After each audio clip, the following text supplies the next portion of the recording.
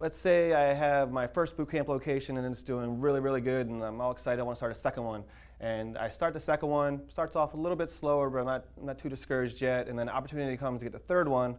I get a third one right away. Maybe a couple months later, third one like takes off. And my first location, third location are doing really, really good.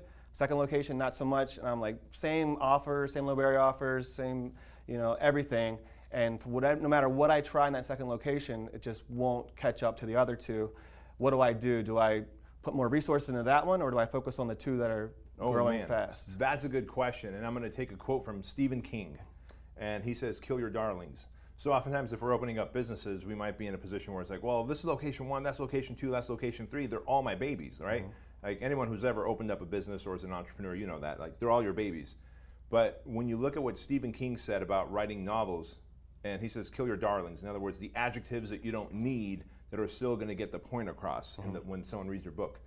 And so, if you got location one and three firing on all cylinders, and your goal is just to make money and make a bigger impact, well, location two is hindering that. So kill that darling, go open up a second, second location, and maybe that is opened up in a better spot.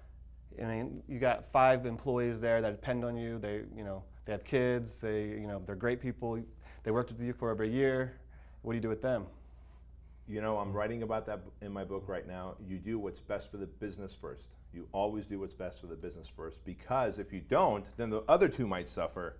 And now all three are going to tank, and now you got 15 employees instead of just five suffering.